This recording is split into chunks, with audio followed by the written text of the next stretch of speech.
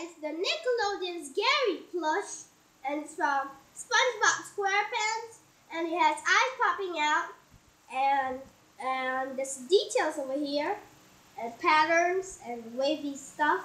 And actually, the pink thing the shell, and this is the his body.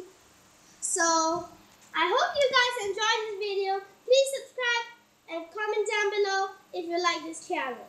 Please subscribe and comment.